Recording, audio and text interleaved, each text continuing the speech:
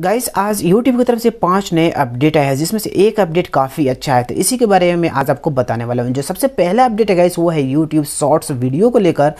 यहाँ पर इंडिया में इसका बीटा टेस्टिंग शुरू हुआ था सबसे पहले, उसके बाद यूएसए में। लेकिन अब गाइस यूट्यूब शॉर्ट्स को पूरी दुनिया में लॉन्च किया जा रहा है, जहाँ जहाँ भी यूट्यूब लोग यूज़ करते हैं।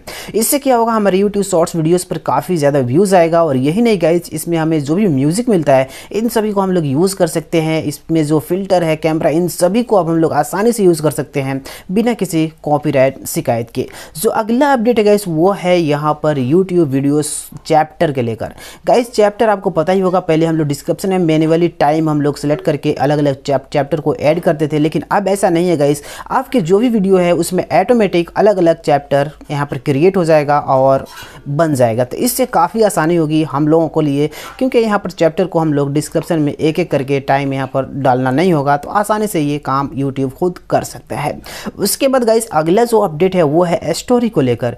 आपको पता होगा, दस हज़ार सब्सक्राइबर जैसे ही कंप्लीट हो जाता है हमारे चैनल पर, उसके बाद हमें यूट्यूब की तरफ़ से एक नया फीचर्स मिलता है, जिसका नाम है स्टोरी और इस पर हम लोग वीडियो छोटे छोटे बनाकर डालते हैं।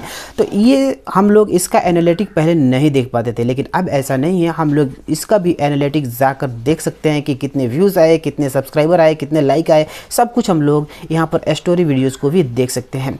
जो अगला फीचर्स है गाइस वो है डार्क मोड का। आपको पता होगा डेस्कटॉप में डार्क मोड नहीं था, लेकिन उसको भी अब यहाँ पर लाया गया है। अगर आप यूज़ करते हैं डेस्कटॉप में यूट्यूब को तो यहाँ पर डार्क मोड में आप उसे यूज़ कर सकते हैं।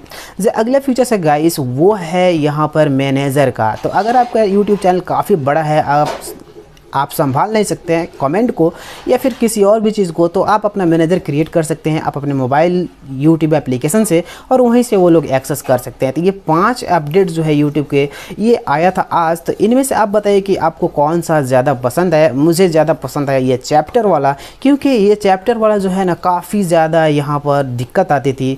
पहले पूरे वीडियो को देखो, वहाँ पर टाइम सेलेक्ट करो कि यहाँ मैंने क्या बोला है, उसके बाद यहाँ पर डिस्क्रिप्शन में टाइम डाल के चैप्टर लिखो। तो ये काफ़ी प्रॉब्लम होती थी इससे। अब हमें ऑटोमेटिक यूट्यूब ही ये चैप्टर बना देगा वीडियो में अलग अलग जिससे काफ़ी ज़्यादा अच्छा रहेगा हमारा वीडियो और उसके बाद व्यूज़ भी ज़्यादा आएगा। तो ये रहेगा इस यूट्यूब का पाँच अपडेट कैसा लगा आपको? कौन सा अच्छा लगा?